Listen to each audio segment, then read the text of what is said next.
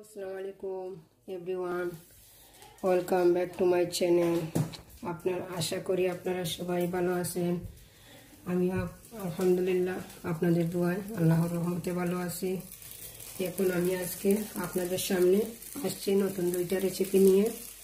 আজকে আমি আপনাদেরকে দেখাচ্ছি কী রান্না করব। এখানে আমি রেখেছি আধা কেজি পরিমাণ কলিজা। আজকে আমি কলিজা বোনা করব। তারপর এটা হচ্ছে তাপসি মাছ।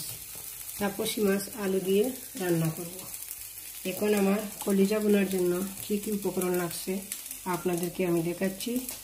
এখন আমি পাঁচটি মরিচ রেখেছি ছোটো ছোটো কেটে এবং রসুন পেস্ট এবং আদা পেস্ট দুইটি রেখেছি। এগুলা কারণ ছোটো করে আমি কেটেছিলাম, এটা পেস্ট করে রেখেছি।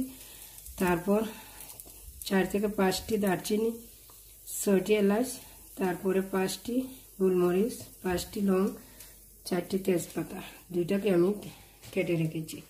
তারপর এখানে আলু কেটে রেখেছি, এখানে আদা, এখানে আধাখান টমেটো আমি কেটে রেখেছি। মানে একটা দিলাম না, একটা দিলে বেশি হবে, মাছের মধ্যে দিব। কলিজার মধ্যে আমার কোনো টমেটো লাগবে না। তারপর এই যে মাছের জন্য পেঁয়াজ কুচি রেখেছি, আদা পেস্ট এবং কাঁচামরিচ। এই যে মাছের উপকরণ হচ্ছে এক চামচ হলুদ, হলুদের গুঁড়া এবং এক চামচ ধনিয়ার গুঁড়া এবং এক চামচ মরিচের গুঁড়া। এবং কলিজাতে লাগবে আমার এক চামচ হলুদের গুঁড়া, এক চামচ জিরার গুঁড়া, এক চামচ মরচের গুঁড়া, এক চামচ ধনিয়ার গুঁড়া। এখন এক কাপ তেল রেখেছি এই কাপের মধ্যে, দেখেন? এক কাপ তেল দিয়ে আমি দুইটা তরকারি আমি রান্না করব। এখন আমি মাছ ফ্রাই করব। এই যে মাছ ফ্রাই করার জন্য একটা প্যান বসাইছি। এখন আমার প্যানটি গরম হয়ে গেছে, আমি তেল দিব এবং এদিকে একটা পাতিল বসাইছি আমার কলিজা বোনা বসানোর জন্য। এই যে এক কাপ তেল রেখেছি, এটা কিন্তু আমি অর্ধেক অর্ধেক দুই তরকারিতে দিয়ে দিব। আমার মাছটা, এই দেখেন, আমি হলুদ এবং লবণ দিয়ে মেখে নিচ্ছি। এখন আমি ফ্রাই প্যানে দিয়ে দিব। ফ্রাইতে মাছ দিয়ে দিয়েছি। প্যানের মধ্যে এখন আমি এই যে কলিজা বোনার জন্য এখন তরকারি দিয়েও এখন আমি প্রথমে আমার তেলটা এখনও গরম হয় না আরও দুই মিনিট লাগবে। এগুলা সম্পূর্ণ আমি একসাথে দিয়ে দেবো। যে রসুনটা লাল হয়ে আসছে, এখন আমি এই যে পেঁয়াজগুলো দিয়ে দিব। রসুনটা যে কাঁচামরিচটা দিয়ে দিলাম। পেঁয়াজ দিয়ে দিলাম।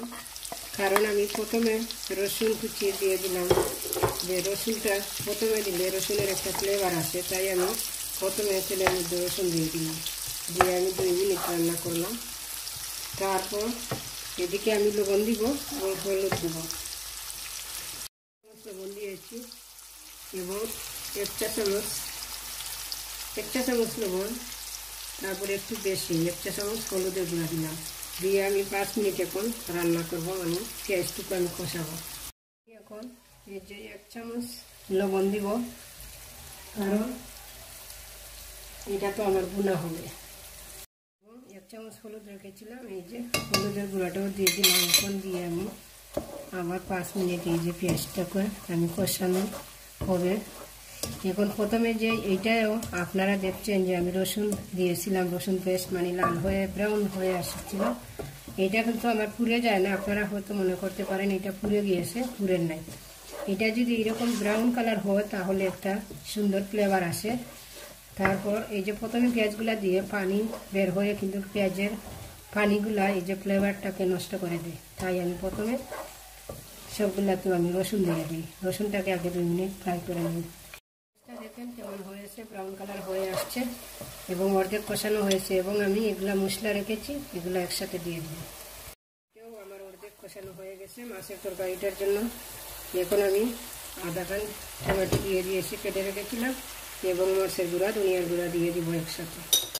কলিজাটা দিয়ে আমি পনেরো থেকে পনেরো থেকে বিশ মিনিট রান্না করব। এই যে আমার আলু, আলুর মশলাটাও কষিয়ে গেছে মানে যে পেঁয়াজের পানিয়ে কষানো হয়ে গেছে। এখন আমি এই যে আলুটা দিয়ে দিব। আলুটা দিয়ে আলুটা সিদ্ধ হয়ে আমি এই যে এক পরিমাণ পানি দিব। পানি আমি আলুটাকে সিদ্ধ করে নিব। কলিজার কেমন হয়েছে, কি সুন্দর হয়েছে। গ্রানও বের হইতেছে কলিজা। এখন এই যে অত সময় কলিজার পানি দিয়ে কলিজা সিদ্ধ হয়েছে, এখন আমি এক কাপ পরিমাণ পানি দেব। এই যে আলুটা সিদ্ধ হয়ে গেছে, এখন আমি মাছ দিয়ে পাঁচ মিনিট রান্না করব। আসলাম, এখন আমি এক কাপ পরিমাণ পানি দিব। এই যে পানি দিয়ে আমি পাঁচ মিনিট রান্না করব। তারপর আমি ধনিয়া পাতা দিয়ে আমি তরকারিটুকু নামিয়ে নেব। কেমন হয়েছে, এখন আমি ধনিয়া পাতা কুচি দিয়ে তরকারিটা নামিয়ে নিব। আর হচ্ছে এদিকে আমি তরকারিতে কিন্তু মাছের চেয়ে আলু বেশি দিয়েছি, কারণ আমার আলুটা আমার বাচ্চারা পছন্দ করে। বেশি দিয়েছি কারণ এই যে জুলো বাচ্চারা পছন্দ করে, তাই এটা গুণা করলাম না, কিছু জুল দিয়ে দিলাম। আর আলুটা কিন্তু এটা নতুন আলু, এই আলুটা কিন্তু আমারও পছন্দ, তাই আমি আলু বেশি দিয়েছি তরকারির মধ্যে। এখন আমি তরকারিটা নামিয়ে নেব। কলিজার তরকারিটা কেমন হয়েছে? এখন আমি তরকারিটা নামিয়ে নেব, আমার তরকারিটা হয়ে গেছে। এই যে এটা হচ্ছে আমার আলুর তরকারি তাপসি মাছ দিয়ে, আর এটা হচ্ছে কলিজা বোনা এখন আজকে এই যে দুইটা রেসিপি আপনাদেরকে আমি দেখালাম, যদি আপনাদের কাছে ভালো লাগে, তাহলে আমার মতো আপনারা রান্না করে খেয়ে দেখবেন কেমন হয়ে, হলো, আর আপনারা আমাকে কমেন্ট করে জানাবেন। যদি ভালো লাগে আমাকে লাইক কমেন্ট এবং শেয়ার করবেন। এবং সাবস্ক্রাইব করবেন এবং পাশে থাকা বেলাইকুনটি বাজিয়ে নেবেন। আজকের জন্য আপনাদের কাছ থেকে আমি বিদায় নিচ্ছি। আপনারা সবাই ভালো থাকেন, সুস্থ থাকেন। আপনারা আমার জন্য দোয়া আল্লাহ হাফেজ।